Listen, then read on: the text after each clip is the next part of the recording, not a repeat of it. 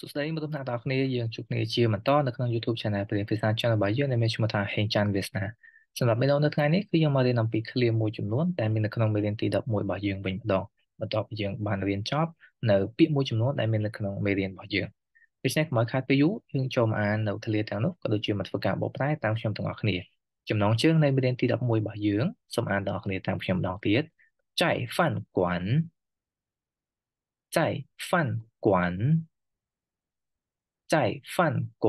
គឺមានន័យថានៅភោជនីយដ្ឋានពេលចៃគឺមានន័យថានៅហ្វាន់គួនភោជនីយដ្ឋានអូខេឃ្លាទី1នៃមេរៀនទី11របស់យើងគឺយើងអានថា您吃什么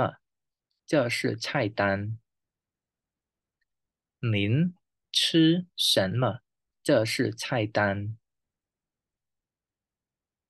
您吃什么这是菜单ដែលយើងបកប្រែថា តើ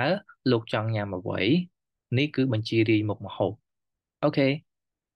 និនឈឺសមកគឺមានន័យថាតើលោកញ៉ាំអ្វីខ្ញុំថែមពាក្យចង់មួយទៀតដើម្បីជាការគួរសមបើសិនយើងបកប្រែថាតើលោកញ៉ាំអ្វីវាហាក់បីជាមិនព្រោះស្ដាប់ហើយអញ្ចឹង这是菜单គឺមានន័យថានេះគឺបញ្ជីរាយមុខម្ហូប这是បានន័យថានេះគឺជា菜单ដែលយើងស្គាល់ជាទូទៅថា menu ហើយយើងបកប្រែជាភាសាខ្មែរគឺបញ្ជីរាយមុខម្ហូប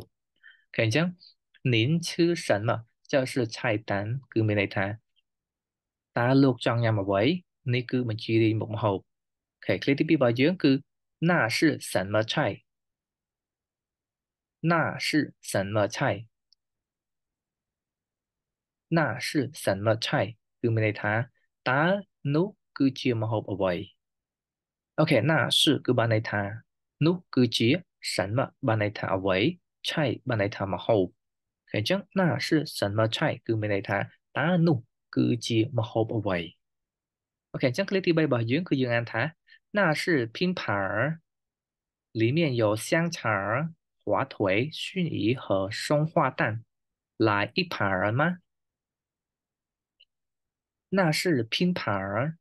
里面有香肠火腿熏鱼和松花蛋 来一盘儿吗？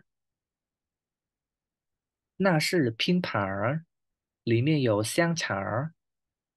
火腿、熏鱼和松花蛋。来一盘儿吗អូខេឃ្លាមកពីខាងមុខនោះគឺមានន័យថានោះគឺជាមុខម្ហូបរួមគឺមានន័យថាម្ហូបនៅក្នុងចានមួយហ្នឹងគឺមានមុខម្ហូបពីរមុខតែដាក់រួមគ្នានៅក្នុងចានតែមួយអូខេភាសាអញ្ចឹងគឺយើងហៅថា pin គេអញ្ចឹងគេបកស្រាយនេះ里面有香肠ខាងក្នុងហ្នឹងគឺមានសាច់ក្រក OK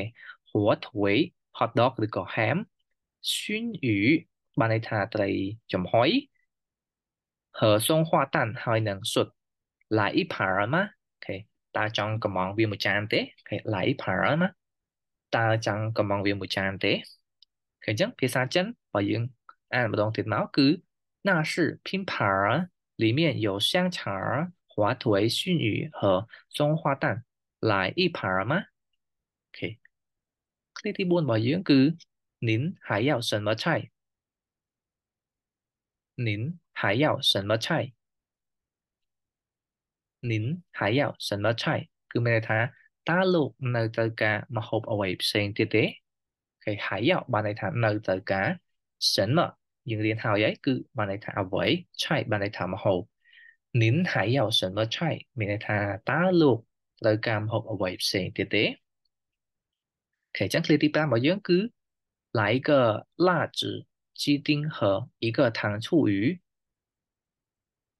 来一个辣子鸡丁和一个糖醋鱼来一个辣子鸡丁和一个糖醋鱼 អូខេ来一个បានន័យថាសុំឬក៏កំងតែ来一个辣子鸡丁គឺមានន័យថាសុំមាន់លីងម្ទេសមួយមកហើយនឹងត្រី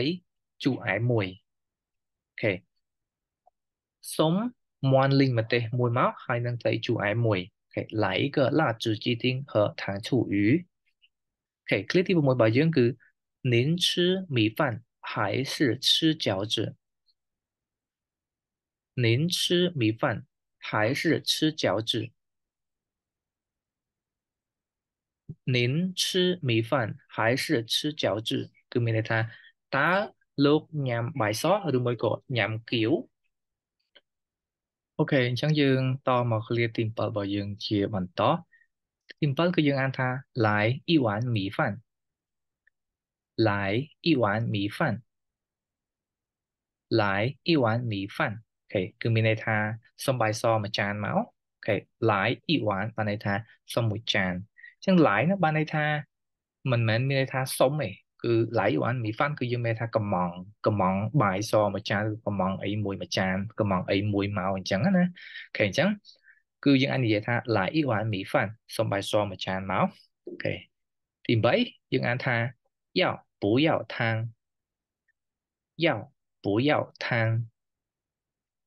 要不要汤 មានន័យថាតើត្រូវការទឹកស៊ុបទេ OK អញ្ចឹងអក្សរទី2នេះគឺយើងអានថា 不 ដែលសារនៅខាងមុខនេះអក្សរយ៉ាវគឺសំឡេងទី4 OK អញ្ចឹងទី9យើងអានថា喝酒吗喝酒吗喝酒吗 OK ចង់ញ៉ាំស្រាទេ